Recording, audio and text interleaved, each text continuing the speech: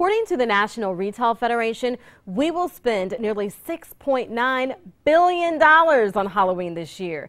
The average costume price, $45. But you don't have to dish out much if you do it yourself, right? Jenna James joins us now with costume ideas for the crafty among us. Jenna, so what are you? I'm a loofah. I hope you like it. Ah, loofah? yeah. I do like it. Thanks. Super easy costume to make. The most expensive thing that you have to get is a cheap tank top. Then just grab some tulle, get some at the craft store, and hot glue it all over the costume. Make sure you scrunch it up so that it actually looks like a loofah.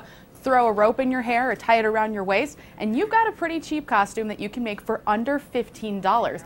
But if you're not as crafty as some of us and you want to do your own costume without all the do it yourself, consider hitting up a costume shop like Fairy Tale Costumes. They may have the parts and pieces you need to create the perfect look for cheap. And we dress tons of people. On, on the night of the party, our dressing rooms are standing room only because people are constantly coming in. I've got these four pieces. I need six more pieces to make this costume complete, and then I'm going to the party.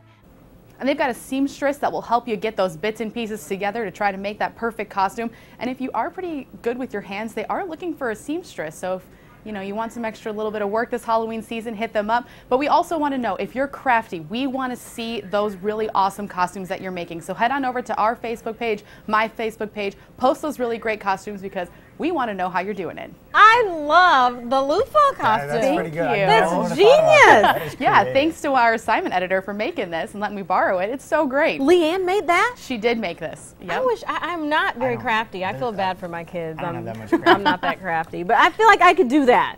Well, then that's that's when you go and you hit up a costume shop and see what they have. All right, Jenna, thanks so much.